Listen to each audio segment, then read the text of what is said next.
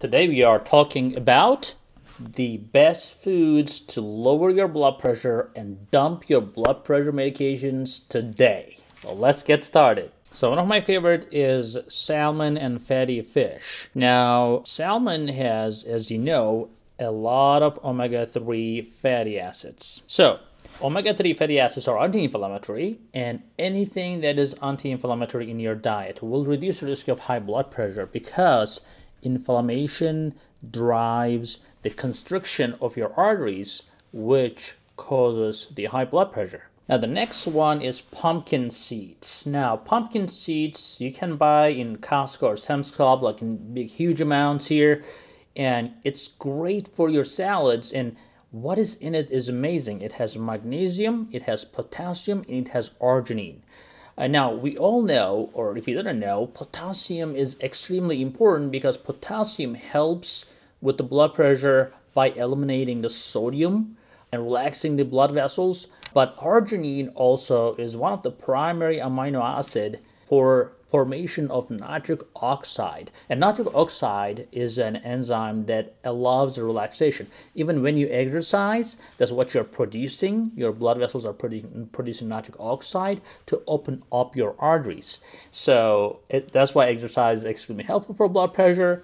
But that pumpkin seeds as a food source will help you produce nitric oxide. So even studies show the people who consume pumpkin seeds regularly reduce your blood pressure even in studies, not just anecdotal evidence. Another food source is beans and lentils. Again, it's very high in magnesium, it is high in potassium and fiber.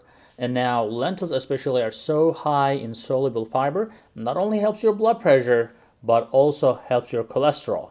So guys, if you are not trying this or didn't give a chance yet, try to slowly incorporate beans and lentils to avoid bloating. Because if you're not eating those foods normally, you will get bloated and you'll be like, what's going on? But yeah, slowly get started and you will see amazing benefits from them. Next in the list is berries, all sorts of berries, all sorts of berries with color. Even actually mulberries are very good. So basically they have something called anthocyanins, the substance that gives the color to the berries. Now, that same product allows to increase the nitric oxide again but also what they do they inhibit the production of the enzymes that causes the vasoconstriction which is closing up of your arteries. So remember berries one portion at least every day. Now pistachios is one of my favorite nuts. Well, because in Turkey, that is the favorite nut. So hazelnut and pistachios is all we eat. Peanuts is common in America. We don't really eat that much peanuts. And actually, to be honest with you, you know, peanuts are overly consumed in the United States, but benefits is not as near as pistachios. So pistachios are amazing with the potassium content. Like we discussed, potassium allows your blood vessels to relax, and potassium eliminates or help eliminate the sodium in your body, which is the primary driver of excessive fluid in your body. So if you want to lose some weight, get rid of some of the water retention you have, you try to increase your potassium. So the potassium sodium ratio is very important.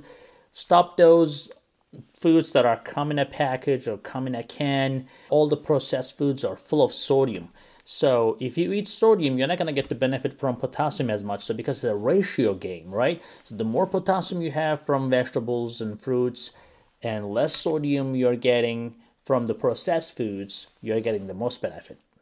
Another one is carrot, guys. Carrot is amazing. It's crunchy, sweet, delicious. Of course, too much of it can spike your blood sugar, but carrots, especially when consumed raw, help a lot reducing the blood pressure. They have uh, things called phenolic compounds, and they help relax the blood vessels, and they help produce nitric oxide as well. The next is celery. Celery is awesome. They have something called phthalides in that plant source.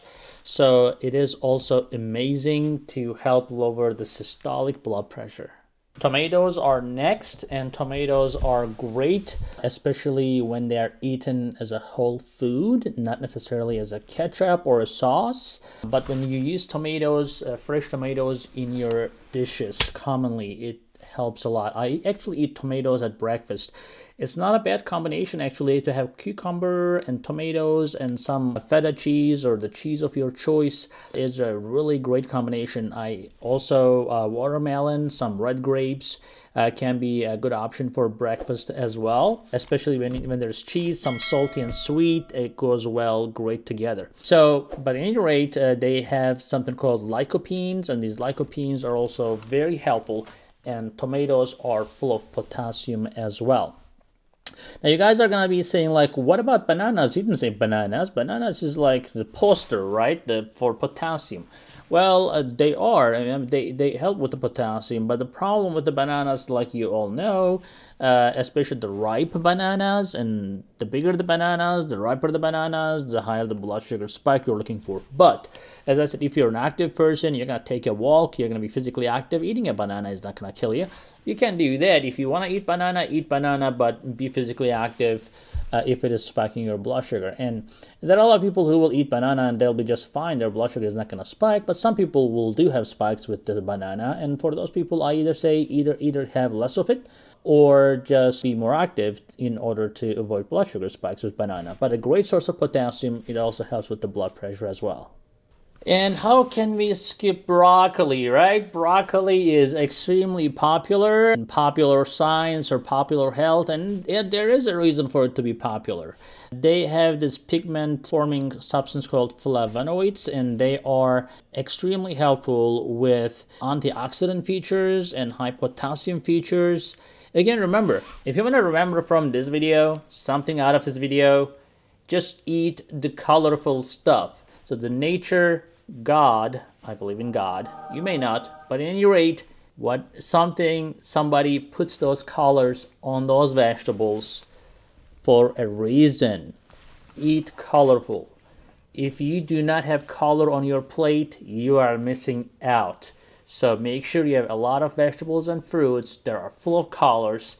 They are your best friend for your diabetes and for your for your blood pressure. Now, I am a big fan of Greek yogurt as well. Now, my Turkish audience tell me that uh, why are you not saying Turkish yogurt? Well, guess what? Greek yogurt is famous. I'm sorry. Yeah, I know. I know. I know. I'm Turkish and people, I love Greeks and I love Greek food and I love Greek yogurt. Sorry, my Turkish friends. There's no animosity between Turks and Greeks. They're friends. Come on. Anyways, the Greek yogurt is great, strained yogurt, whatever you call it. It helps with a lot of potassium. Now, it's a great uh, probiotic as well. Uh, now, you may not be person like a, a, yogurt person, but try it. I mean, some some fruits on top. I think it can help you uh, as a great snack for both diabetes and to help your blood pressure as well. And there are a lot of, of course, the herbs and spices that can help your blood pressure as well. A few of them are uh, saffron, lemongrass, garlic, cinnamon, cardamom, sweet basil, ginger, cilantro, celery seeds, you name it. All these spices also are helpful. They are also helpful when you use spices in your diet. You will realize that you need less salt. So if you have this high salt addiction, if you're the person who just wants to add salt to your diet, add spice because your taste buds can be easily diverted from the salt and the spice will uh, give you the taste that you're looking for and will reduce the need for adding salt to your food. So you may be familiar with me talking about spinach. Spinach is great unless you have a kidney stone problem, but spinach is full of fiber and antioxidants and nitrates, uh, which is the source for nitric oxide. So definitely spinach is something you can add on to your salads, you can cook it, but high fiber, high potassium content of spinach makes it a great addition to your diet as well if you have high blood pressure. So how about the how about the seeds, the flax seeds and chia seeds? Now, as you know, I love chia seeds. You can make a chia seed pudding for breakfast, and it's good for your diabetes. They are very high in fiber, high in magnesium and potassium. So as a result, those these seeds, the chia seeds and the flax seed also is very good for your blood pressure. Now, of course, last but not least, I would say beets are very, very good. You can uh, add beets to your salads. You can uh, drink beet juice, uh, or you can just take some beet capsules that are sell, sold as a supplement. But adding beets really boosts your nitric oxide quite a bit. Not only helps your blood pressure, it even helps with your athletic, with your athletic performance as well. So consider beets in your diet as well, guys.